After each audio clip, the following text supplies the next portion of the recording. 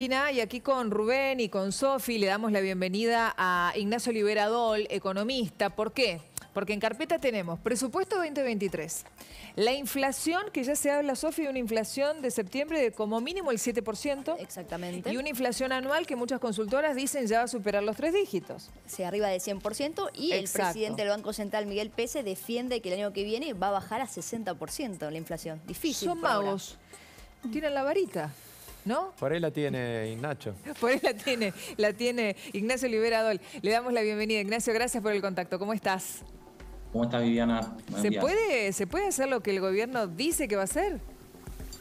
Lo que parece ahora es que el gobierno está muy enfocado en reducir el déficit fiscal, mm. enfocado estrictamente en cumplir las metas con el fondo, pero las dudas eh, del mercado en este momento tienen que ver con que hay efectos secundarios que muestran que la Argentina no termina, por ejemplo, de estabilizar el mercado cambiario y de reducir eh, la inflación e incluso solucionar otros desequilibrios que tiene. El gobierno va a ser muy exitoso en reducir el déficit fiscal, en quizá eh, cumpla también con la meta de acumulación de reservas, pero los efectos colaterales que se ven del programa con el fondo pueden terminar afectando y profundizando la inestabilidad en el, mercado cambiario y en, y en, la inflación, como lo estamos viendo.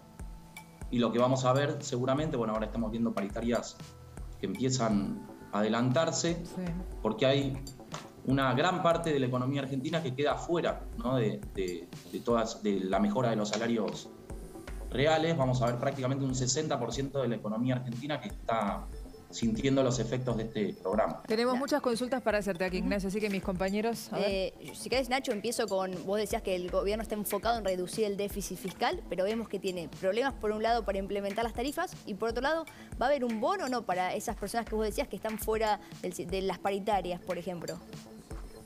Sí, el tema es si esos bonos después terminan compensándolo con los niveles de inflación que tenemos. Claramente el programa en este momento cierra con una reducción en términos reales de todos los beneficiarios del sector público. ¿no? Hay los que están logrando recomponer sus ingresos por encima de la inflación son menos del 40% de la economía, que son el sector privado registrado, pero después tenemos la economía informal y el 20% del sector público, que si el gobierno logra eh, cumplir con la meta del déficit fiscal, debería mostrar una reducción en términos reales, por lo menos en el corto plazo. Hay que ver el año que viene más cerca de la selección. Ahora, Ignacio, contra eso vos tenés, que, a ver, es muy duro lo que voy a decir, pero eh, eh, todo este tema de los bonos que están dando vuelta, conspira contra esto que vos estás diciendo. Porque básicamente lo alejan de nuevo al gobierno o le complican la caja al gobierno. El bono que ayer el gobierno confirmó de 50 mil pesos es para 3 millones de beneficiarios. No estaba contemplado en ningún número que se había hecho hasta ahora de lo que vos mencionas. Claro, pero lo hace después de, por ejemplo, asegurarse a través de, diversos mecanismos otras fuentes que mejoran o fortalecen la recaudación fiscal, que pueden ser igualmente nocivos, ¿no? Por ejemplo, una de las fuentes de recaudación inesperada que tuvo el gobierno en este mes fue la de las retenciones por el, dólar soja. Mm. Pero esas retenciones logró captarlas a partir de una emisión monetaria que estuvo haciendo, que no estuvo respaldada por los dólares que estuvo acumulando y que va a tener impactos en la inflación.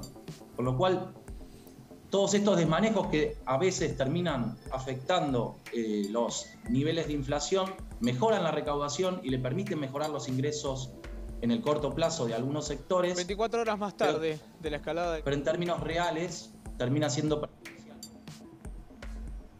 Ay, justo te perdimos, Ignacio. A ver, ¿nos escuchás? A ver si te puedo despedir. No, justamente que con estos mecanismos con los que logra recaudar quizá algunos ingresos extraordinarios, después termina agravando los, la espiral inflacionaria que se está viendo y por eso toda esta recomposición que está dando para algunos sectores quizá no eh, termine resultando en una mejora en términos reales para ellos, sino en una mejora en el corto plazo, pero con niveles de inflación eh, por los que tenemos, es probable que finalmente sean insuficientes. Ignacio, muchísimas gracias y perdón por la demora, eh, que sé que nos estuviste esperando. Perdón. No, gracias a ustedes. Muchas gracias, que estés muy bien. O sea, el panorama para adelante alentador no es. Eso está más que claro. 7% septiembre, eh, la inflación anual y después la realidad que vivimos día a día cuando vamos al supermercado. Desde ¿Es ya. así? Sí, sí, ¿Te se ve eso? Fin de